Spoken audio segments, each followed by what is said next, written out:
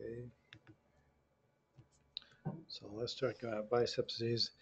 As all of you are uh, well aware of the, the basic anatomy, uh, this is just the long head of the biceps tendon. It connects primarily in one major band at the uh, at the top of the glenoid, just superior to the labrum, where it may not be connected by by fibrous bands to to the labrum.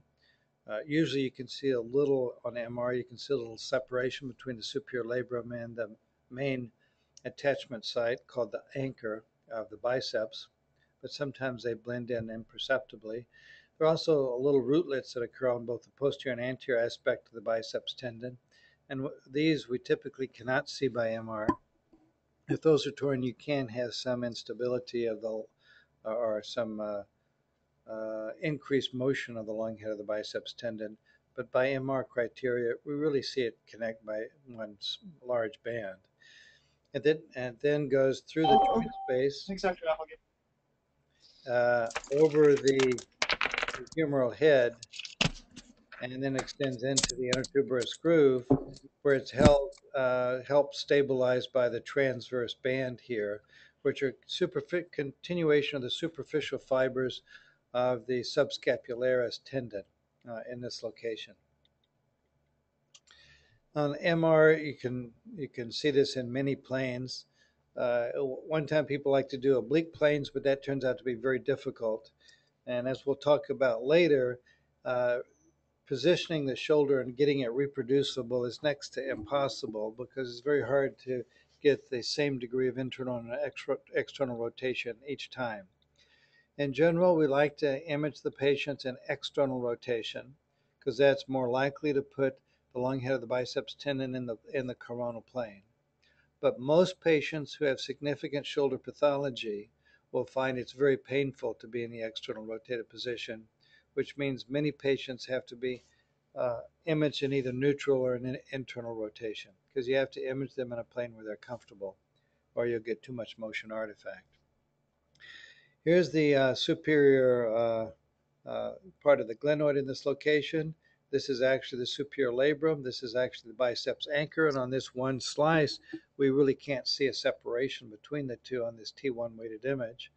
If we go a little bit more anteriorly, we can actually start seeing a little separation plane. We're getting a partial voluming of part of the biceps tendon here, and here's the superior labrum uh, underneath it. If we go in the oblique sagittal plane, uh, the normal shape of the glenoid uh, fossa is oval, uh, yet there's a little hat on top here, and this is the origin of the bicep. This is the location of the biceps anchor. And here we can see it uh, coming off here. Uh, this is an important structure that we're going to talk a lot about later. This is the coracohumeral ligament, which is kind of intimately associated with the biceps anchor at its origin and actually in its proximal course, and is important uh, for stabilizing the shoulder. Uh, this the area in here is a triangle that's normally filled with fat. This is the coracoid process to your left, humeral head to your right, part of the subscapularis tendon inferiorly, supraspinatus muscle up here above. Obviously, this is the acromioclavicular joint in this location. Uh, this area in here is called the rotator cuff interval. Uh, that's where there's a big separation between the subscap uh, tendon and the anterior part of the supraspinatus tendon uh, because the coracoid process does not allow you to have a continuous sheet of the rotator cuff. It has to be interrupted uh, because the coracoid process sticks out anteriorly off the glenoid. If we go more uh, peripherally, we can see this is the typical position of the long head of the biceps tendon, intra-articularly, coracohumeral ligament above it, supraspinatus muscle, supraspinatus tendon, muscular tendinous junction, and the location of the biceps tendon, which is anterior and inferior to the supraspinatus. As we go more for, uh, more laterally, the biceps tendon starts to migrate a little bit away from the supraspinatus muscle, uh, and then it, it will end up uh, going into the intertuberous groove, or what some people call the biceps groove, but the technical term is the intertuberous groove. It's the groove between the lesser and greater tuberosity, uh, where it then goes to the muscle and distally in the arm. Bicipital groove, yes. Uh, so here would be the lesser tuberosity, there's the greater tuberosity, and then this, this is the intertuberous groove or bicipital groove, as uh, some people say. Uh, this is the long head of the biceps tendon, which should be almost round, slightly oblong, almost round, and should be seated deep within the well of the intertuberous groove. It should not be subluxed anteriorly. And though we don't see it very well here, this is the subscapularis, and then there's a little thin uh, ligament across the top here called the transverse ligament, uh, which are continuations of the superficial fibers of the subscap and help stabilize the biceps and the groove. So there are occasional uh, variations in the anatomy. Uh, here we can see what looks like a very funny groove, and we really don't see a biceps tendon there in that location. If we follow it up, again, we don't see any tendon. And when we get up to the subscap where there should be a nice intertuberous groove, we actually see there's no groove there. Uh, and if we go to the other planes, we see the same thing. And there's a very rare congenital absence of the long head of the biceps tendon, in which case the groove doesn't develop because it requires the biceps to be there to actually uh, get normal development of the bicipital groove. Okay, here's a 27 year old female uh, professional volleyball player who has shoulder pain. Uh, Michael, what do you think of this case? Okay, so at the bicipital.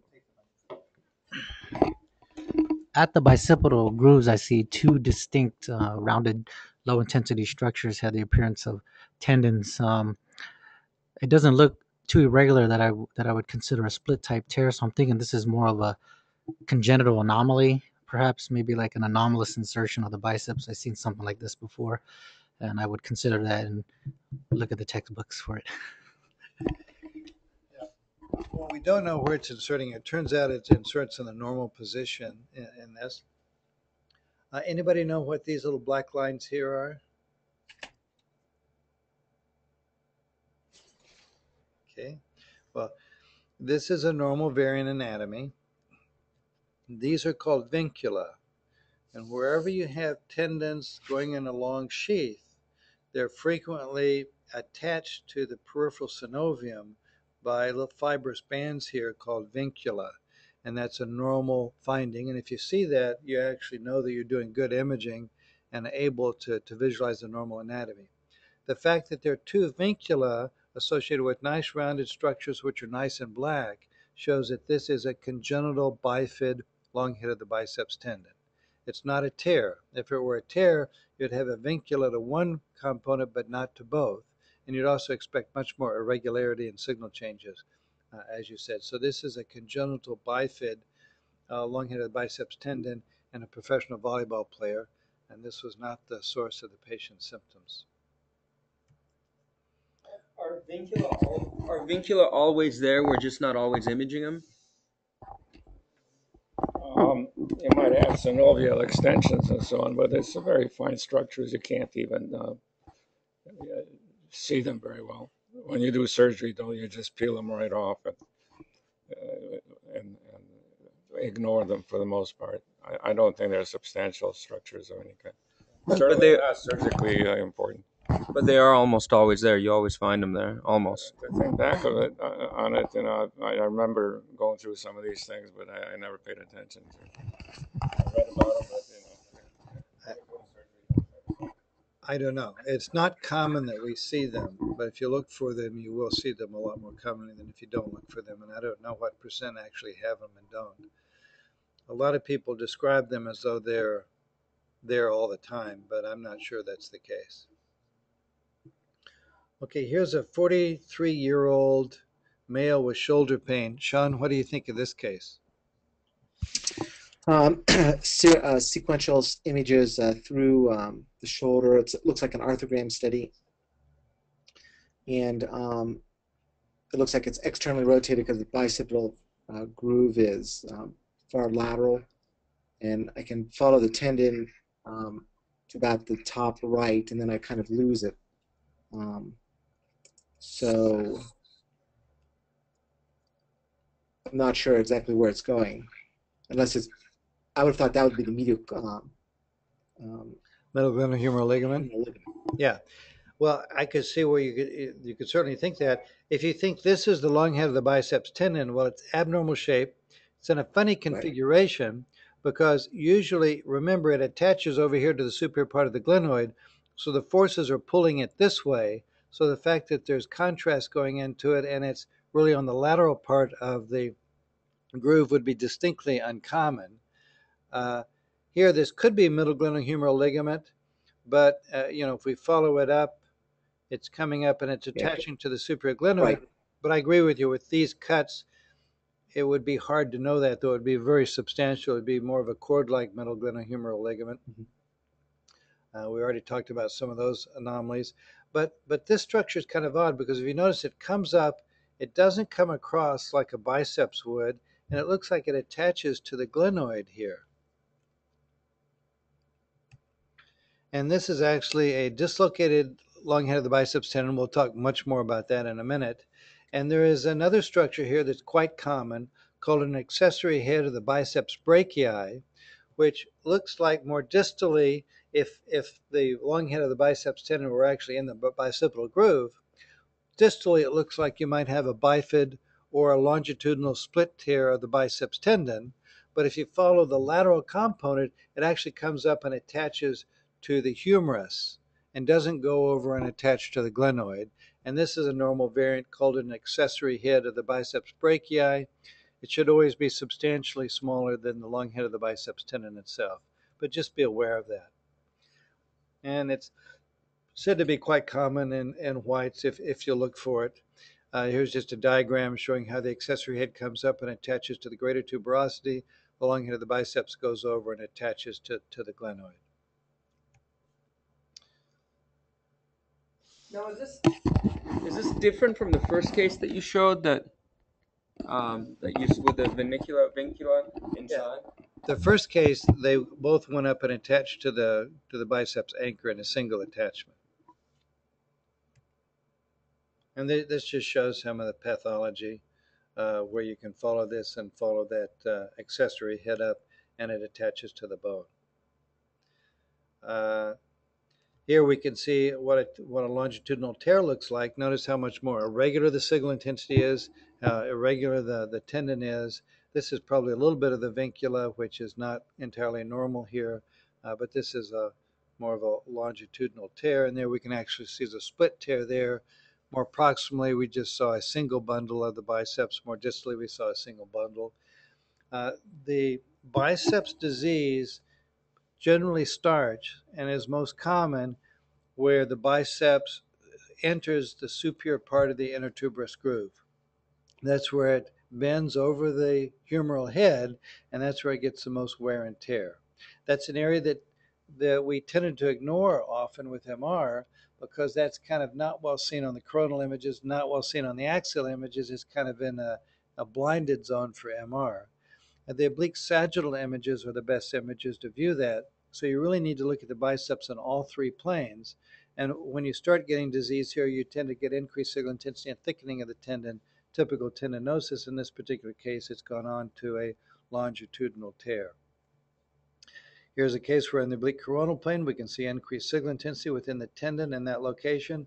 On the T1 weighted image, we have marked loss of signal intensity, and that's not just partial volume. If you go through the different cuts, it's increased signal intensity and thickening, which is kind of early tendinosis.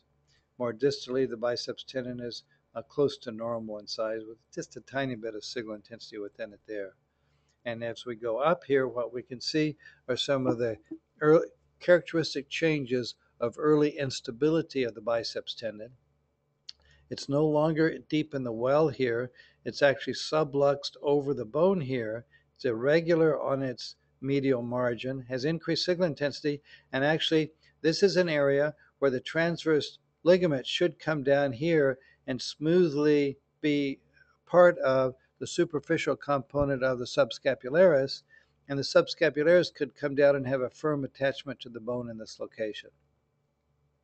Uh, so what we're seeing here is a partial tear of the subscapularis insertion in this location. And we're going to talk about how to grade these uh, in just a minute. So that's biceps tendinosis, and in this case, it's associated with early instability of the biceps. And there we can see much more increased signal intensity within the biceps in that location. And there should be a black biceps here, which we don't see. One of the things you have to be careful with on some pulse sequences, tendinosis can look just like the surrounding soft tissues.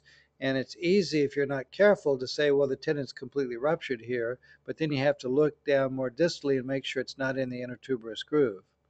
Uh, in this particular case, it's intact, it's just severely tendinotic.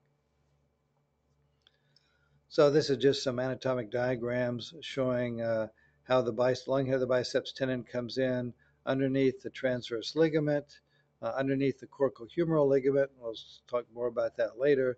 And comes and attaches to the superior glenoid.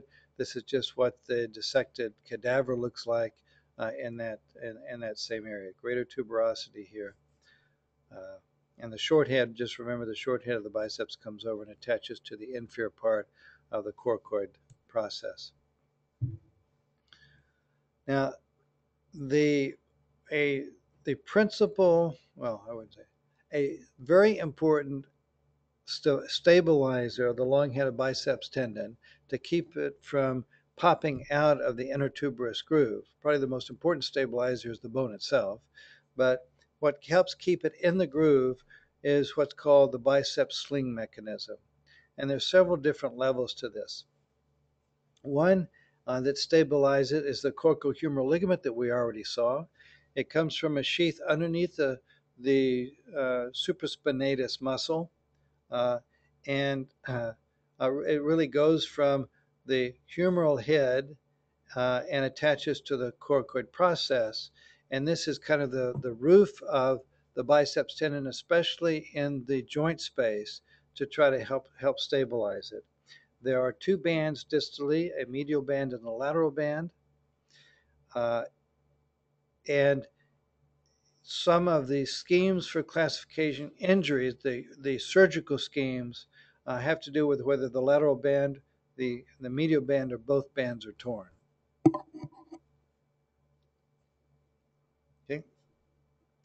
If we go deeper, another very important stabilizer of the long head of the biceps tendon is the superior glenohumeral ligament, which attaches to the glenoid just a little bit uh, anterior to the uh, to the to the anchor. It actually parallels the long head of the biceps tendon, then actually swings underneath it to attach to the humerus. And this is actually the floor, and it acts like a sling. So if the biceps tries to anterior dislocate, this will be a cord that will hold it in place. And we'll see that in a minute on the on the MR uh, on the MR examination. So if we look at it from kind of the lateral side here, this would be the glenoid fossa, superior labrum, biceps anchor in this location. Here's where the superior glenohumeral ligament comes from. It will come in, wrap underneath the, the, the biceps to keep it from subluxing anteriorly, and then attach to the humerus. This is just uh, other diagrams and another article here in AJR, which shows this same sort of anatomy, where the superior glenohumeral ligament starts out anteriorly. It then folds underneath the biceps and then attaches to the humeral head, and that's the sling that holds the biceps tendon up to keep it from subluxing anteriorly. Uh, and we'll see that. And this is just, now, what do we see with MR? A very good plane to see this anatomy is the oblique coronal plane. This is an arthrogram, or at least has fluid in the joint, but I think this is an arthrogram. Here is the biceps tendon. We're a couple of centimeters distal to the biceps anchor.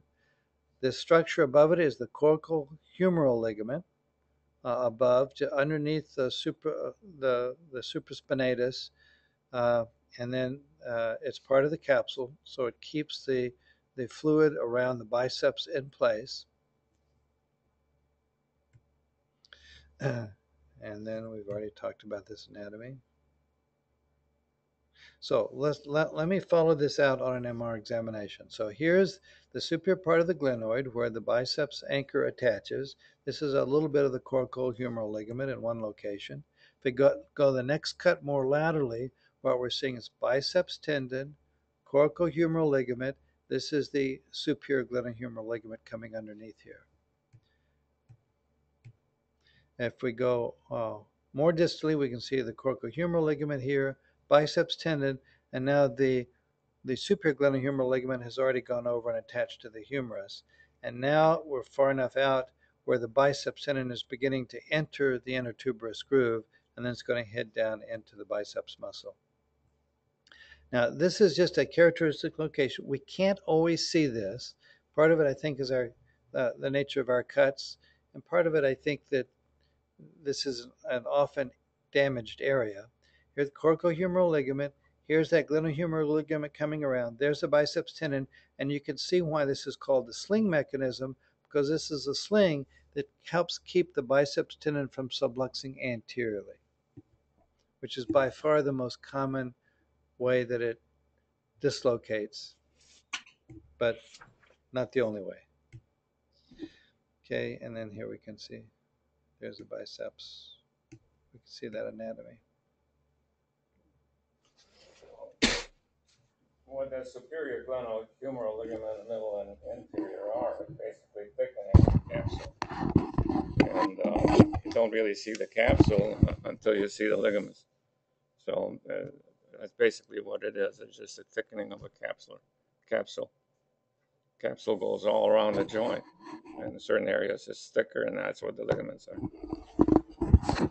And we can see here, and we'll put out in a minute, is that when you have a a an unstable biceps tendon and it starts to sublux, you can have tears of any of these structures around it, which then are necessary to allow it to sublux. It can either be superiorly at the coracohumeral ligament, or you can have a tear of the inferior glenohumeral ligament. Either one will result in a non-functional sling mechanism.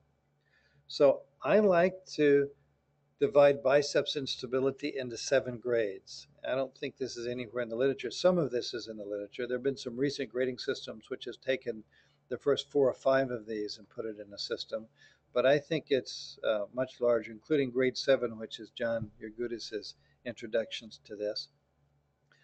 We've really been using this since the 1990s, and uh, there's some support from this from uh, Bennett, which was an article on arthroscopy in 2003, which was an article about rotator cuff tears in this particular area and the hidden lesion. And there's also one by Habermeyer that I'll talk about in a minute. so one of the better known articles in the in the orthopedic literature is this article by Habermeyer, where he says you can divide biceps instability into four types, and each one is associated with a type of rotator cuff tear in the region of the anterior interval. You can have a, all of these, notice, have superior glenohumeral ligament tears, either superior glenohumeral ligament or its association with the coracohumeral ligament. In other words, all of these require a tear of the sling mechanism that we've been talking about. Type 1 is where you have a perched biceps. Type 2, this is associated with a supraspinatus ten, uh, tear, uh, in, uh, which would be sup superior. Type 3 would be associated with a subscapularis tendon tear or an inferior tear. And then type 4 is everything is torn. So this is a diagram from uh, modified from, from his article. This would be the normal, where you have the coracohumeral ligament, the superior glenohumeral ligament, the supraspinatus and subscapularis. Uh, type 1, we just have a tear of the uh, superior glenohumeral ligament. Type 2, tear of superior glenohumeral, oh, I'm sorry, this is the supra over here, and this is the subscap. This would be a tear of the supra and, an, and the superior glenohumeral ligament, tear of the subscap, inferior glenohumeral ligament, and then the whole area around there is torn. So what do these look like? Sorry, this is a little bit of motion here, but uh, I kind of wanted to show this uh, specifically because you can evaluate this well even when you don't have the best images in the world. Uh, even though there's a lot of motion here, this, this tendon is still abnormal. It doesn't have the nice rounded or oval appearance that we like to see. And it's actually subluxed abnormally on to the lesser tuberosity. The center of the oval should really be in the center of the of the uh, intertuberous groove. Also notice that there, there is a partial tear of the subscapularis uh, tendon at its distal in, insertion in this location. Now, if we go to the oblique sagittal images, there's the coracohumeral ligament, which is nicely intact. But notice when we look at the superior glenohumeral ligament, it's injured. It's still, there's still part of it there, but it's injured. So a this would be a, a uh, this would really be a Habermeyer 1, in our system, it's a type 1, where you have a perched biceps tendon uh, with an injured superior glenohumeral ligament.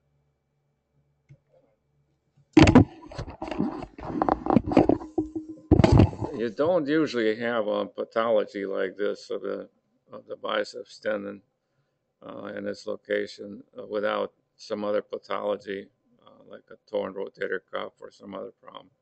It's almost uh, isolated things like that do not occur uh, in this um, pathology we're talking about with the biceps tendon.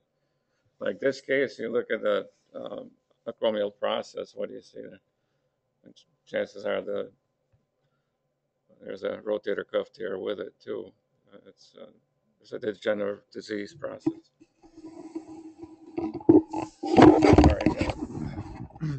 Okay. so here's a 60 year old radiologist who presented with a cuff tear, uh, but no anterior pi- pain in 428 2003. Uh, so this is what the biceps tendon looked like. Again, it's a little bit perched here. The subscap tendon looks like it's fine.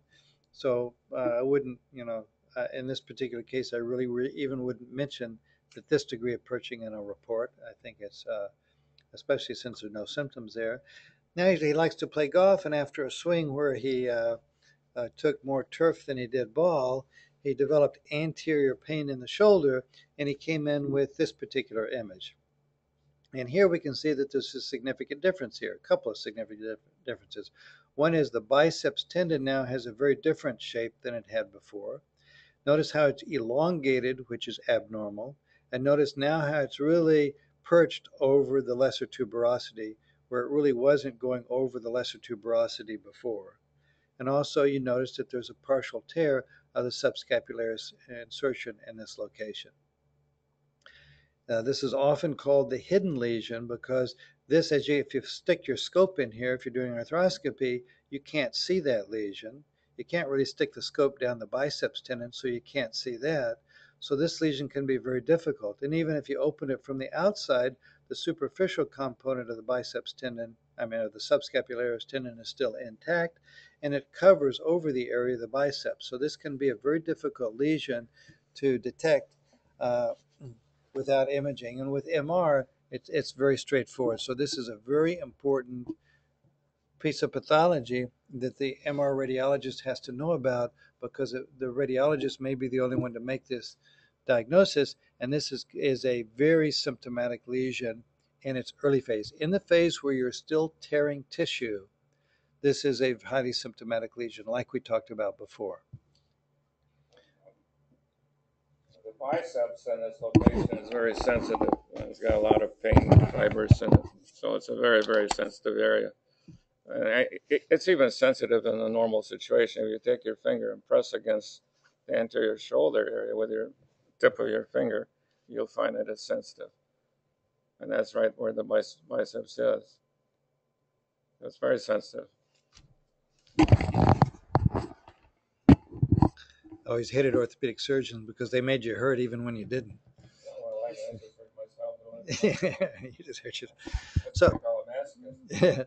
so this is blown up so you can see it, and, you, and this is an important lesion that you always have to look for, and and you, you can't miss this lesion on an MR study.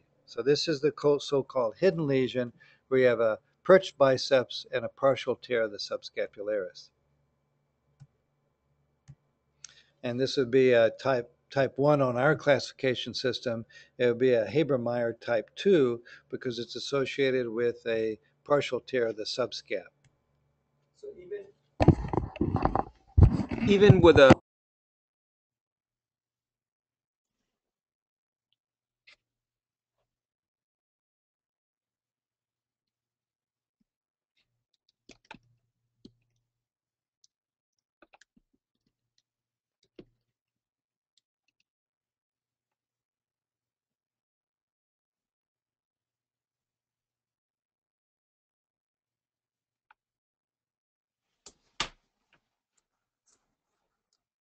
Dr. Cruz? I think we might have lost him. Oh, no, okay. Um, maybe I, Okay, somebody turn the mic off. Can you hear me now? yes, now Oh, I can. yes. Okay. Aha. We have a mic with an on-off button on it. Okay. What happens to biceps tendon when you abduct the arm? Is it tighter or looser?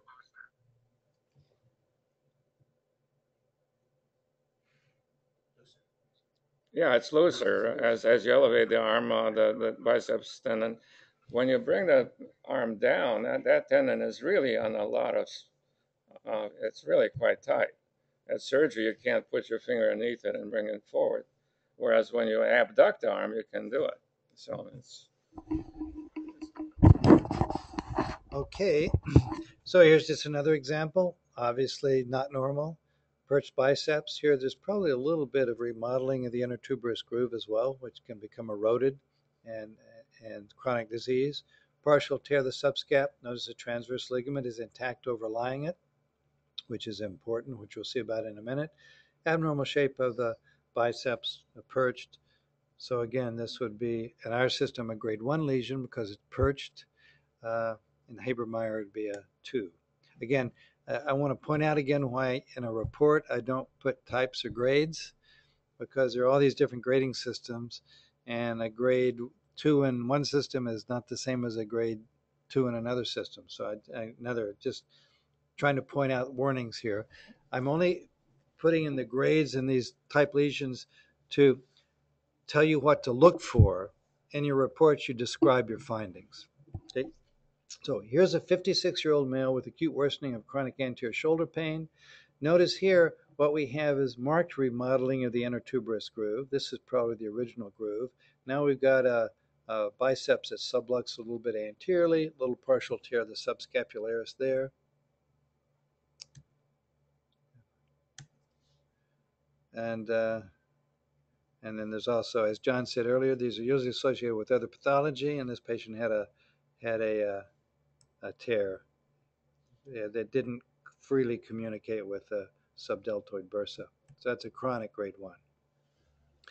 Now the next one, I, we first started seeing this back when we first did MR back in the 19, mid 1980s. Uh, we saw these bizarre situations. Well, the first thing I saw were situations where the biceps tendon was actually located in the in the joint space. The intertuberous groove was empty. I'll show that one in just a minute. And uh, yet the subscapularis tendon looked like it was intact. It wasn't retracted or anything. So, and the long head of the biceps tendon was still intact. It was attached to the muscle distally and it was attached to the superior glenoid at the anchor.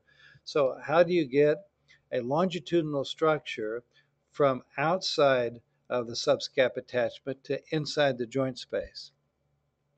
Well, and then I can I can remember as in 1988 at a case. This may even be it. In fact, this may be that case where we actually caught the biceps in the process of migrating between the two. So what happens here is that now we have the biceps. It's no longer perched. It's actually dislocated, and for a short period of time, it will dislocate into the partial longitudinal tear of the subscap and be sitting within the subscapularis tendon. Now the forces are again posteriorly and medially, so very rapidly this tendon, when you move it, will cut through the deep fibers of the subscap, and almost always when we see it, it'll end up in the joint space. And that's the most common location of a dislocated biceps is dislocating into the joint space, but we're not there yet.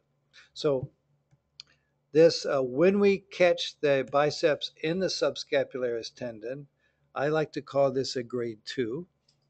Uh, uh, and this we said, you know, this was back in the late around 1990 when we started doing this. And then this, if you look Habermeyer's classification, it would be a three. Uh, and uh, the next stage is it'll cut all the way through the biceps tendon and end up here in the in the joint space. In this case, it's very tendinotic. And notice that we have an empty uh, intertuberous groove here because the, the tendon has subluxant biceps uh, and ended up completely dislocated into the joint space. Another example, notice if you look carefully, however, very often the subscap will certainly certainly be thinned or, or before because a lot of these fibers that are torn, the deep fibers don't really regenerate. So you almost always end up with a abnormally thinned and attenuated subscapularis tendon when, when you see these. So this would be what we call grade three uh, or an interarticular dislocation. About 10 to 15% of the time, however, when it dislocates, it doesn't end up in the joint space. It actually dislocates uh, superficial to the subscapularis, where it actually tears the distal fibers of the supraspinatus tendon, and that's the supraspinatus tendon tear. And then if it dislocates, it dislocates superficial to the subscapularis tendon. Again, this occurs about 15% of the time in, in our patients. Uh, and this I'd like to call an extra-articular dislocation. Uh, this would be a Habermeyer 2 with, with a tear of the, uh, of the supraspinatus. Uh, and then here's just another example of the uh, extra-articular dislocation of the biceps tendon. Notice the empty bicipital groove here. I think I messed up. This should be a Habermeyer 4, so I think this slide is in error. So that I think is a Habermeyer, Habermeyer 4 is where both happen. We've already talked about this particular case, and we know that as soon as you have a vincula there, you know that that's uh, just a variant anatomy belonging to the biceps. What if you don't? What if you don't have a vincula? If you don't have a vincula, if the tendon is nice and smooth and they're both round like this, and if you follow it from the origin of the of the anchor all the way down as distally as you can, and they look nice and smooth and black, I would call it a bifid uh, uh, long head of the biceps. But but remember, this is very rare. Tears of the biceps, longitudinal tears aren't real common, but they're not rare. They're certainly not as rare as a congenital bifid. So always be suspicious. Most of the time, if you see two structures like this, and you can follow them from the anchor all the way down, and it's not the variants we've already talked about, uh, it's going to be a longitudinal split tear. But uh, if they're very smooth like this and look nice and uh, black, then it may well be a congenital bifid like this is. If you see the vincula, then it's a slam dunk. And then, so here we have uh, what looks like two tendons there. We have a perching of one of the tendon with a little partial tear probably in the subscap. And you can follow that, and it actually was more superficial. Uh, and then now the, the next type is where you have a dislocation of the biceps tendon, but you have a complete rupture of the subscapularis. So there's a subscap tear, there's a dislocated biceps. This again, this would be a Habermeyer 4 because there's so much disruption of the tissues around it. And I like to call this a type 5 because the, the, the type that I'm using are things that are clearly and easily and, and can be uh, repeatedly uh, diagnosed with MR imaging. To try to actually do a Habermeyer classification with MR, we don't really see the fibers like you do at surgery, so we're really kind of only guessing. So I like to use our MR classification, even though most of these can be mapped to a Habermeyer classification, uh, but we can directly see what we can talk about. And this is this uh, this case one of my favorite cases that Philip Tirman sent. So it was an 81 year old grandmother who was uh, playing baseball with her grandson, and all of a sudden had a uh, uh, pain in the shoulder, and you can see she completely ruptured the subscapularis and dislocated her biceps into the joint space. yeah, right. And this again would be uh, a type 5 with a complete rupture. Now, uh, this is a 28 year old male with shoulder pain after a motor, motorcycle accident. This is actually the most, the rarest of all forms of biceps uh, instability. This, uh, there are only a few of these reported in the literature, but follow this one. Here we're distally within the, the humeral head. Uh, that looks like it might be a biceps, so let's follow it up and see where it goes.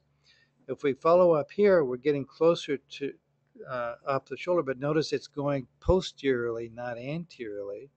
If we come up here, this is actually the, the intertuberous groove in this location, lesser tuberosity, greater tuberosity, but this biceps is way back over here. If we do the next cut, the intertuberous groove is completely empty. The biceps is way back here posteriorly. And if we go to the next cut, we can see the biceps is entering the anchor. It normally should enter from the front, but it's entering from the back. So this is a very rare posterior dislocation of the biceps. This patient obviously had a shoulder dislocation, but you can't see any of the uh, glenoid attachments. Do you, do you, for this, you need to have complete supraspinatus, infraspinatus tears, or, or it could travel through the muscle like it does in the subscapularis? Uh, I think for this, you would have to have a complete rupture of the uh, supraspinatus and probably the, certainly the supraspinatus.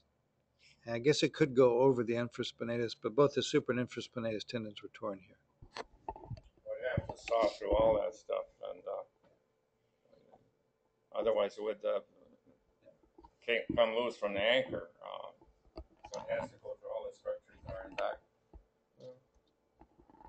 As it dislocated, the arm was probably uh, abducted and externally rotated. and Yeah. it just went You know, I, I guess, wait a second, I, I guess I'm a little wrong here. Thinking about this for a minute, would the cuff have to be, because the, the biceps is coming from distally, the rotator cuff muscles are coming and attaching to,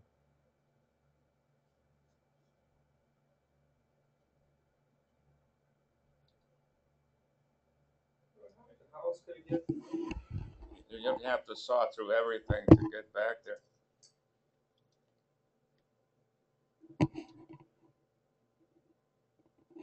yeah, I have to think about that a little bit more because I don't remember the cuff being that disrupted in this case. We, we can go look this case up and look, look at it. See. But anyway, that, that is a posterior dislocation. Rick Riga here is the one who uh, first pointed that out to me.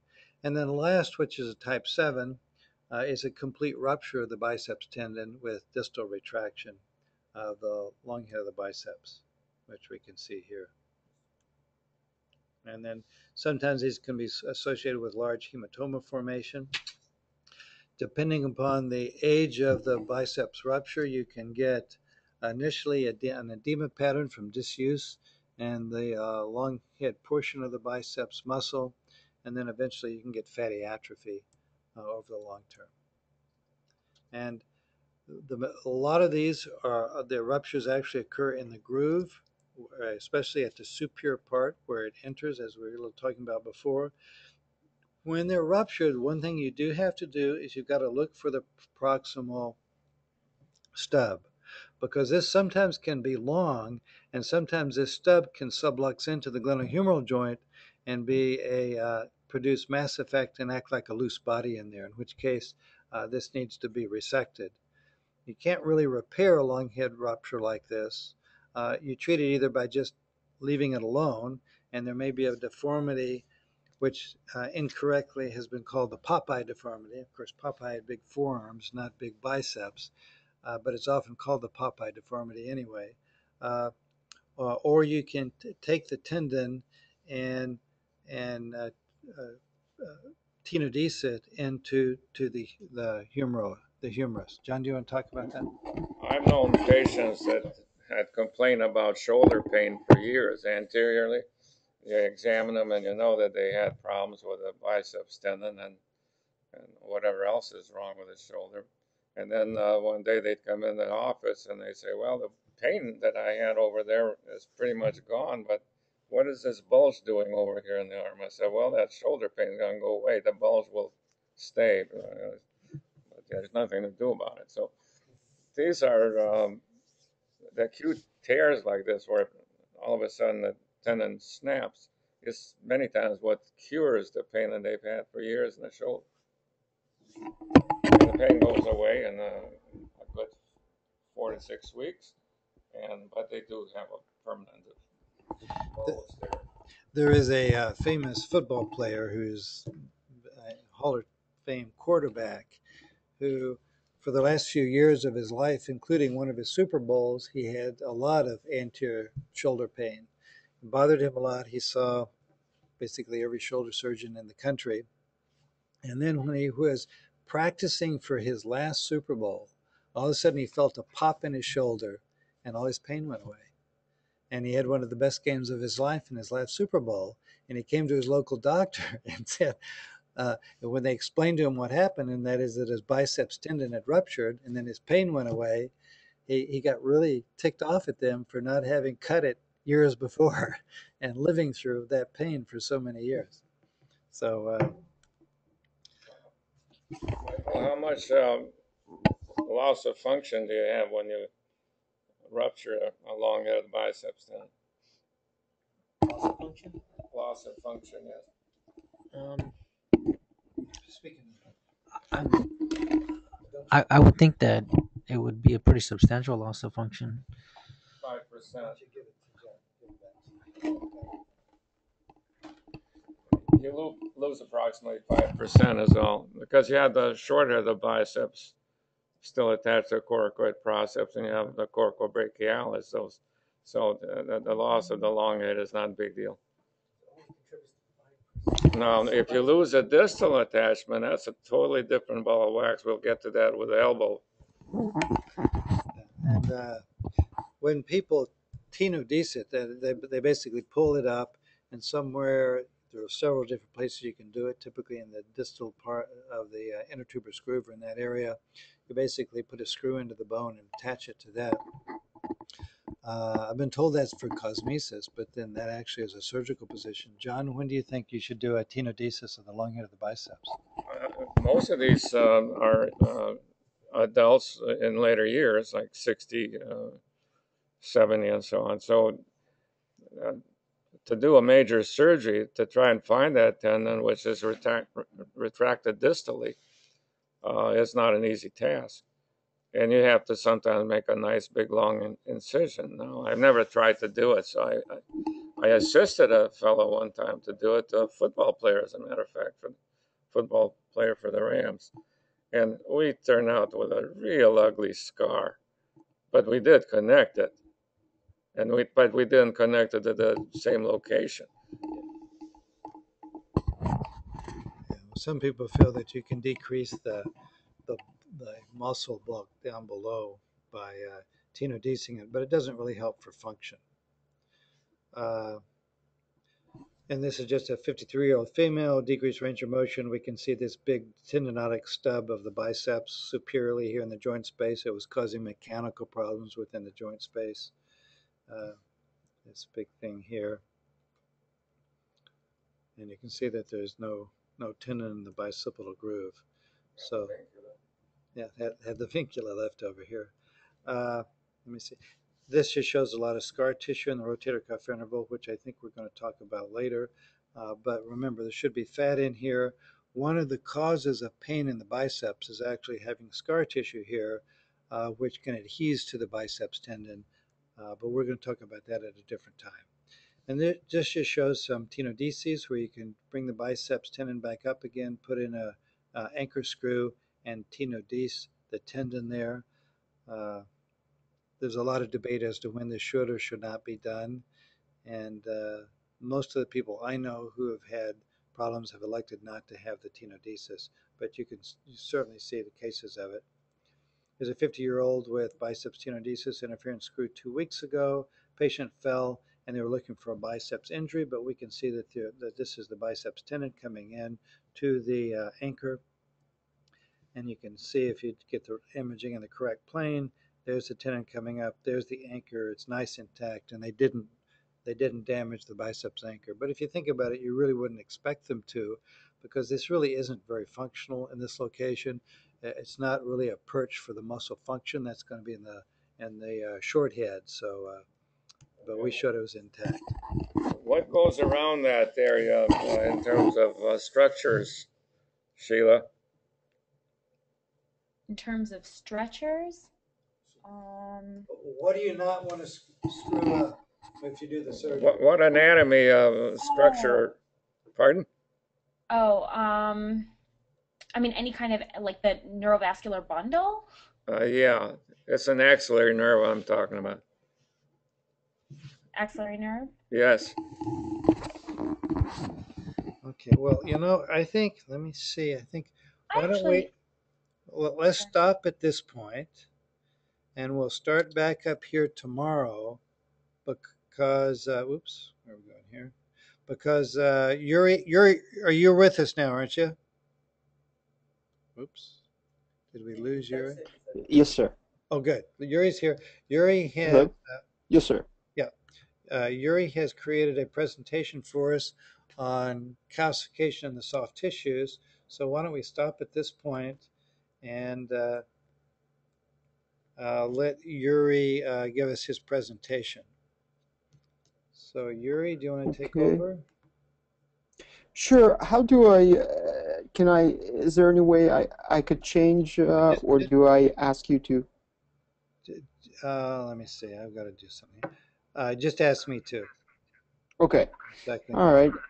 I just need to do something here so that I make sure that it's displaying properly. Mirror displays. Why is it? There we go.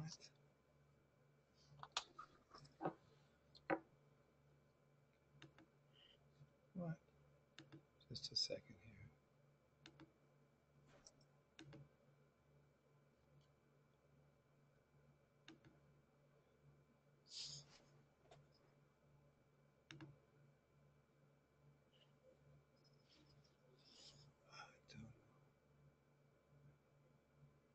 Okay, well, this isn't displaying properly.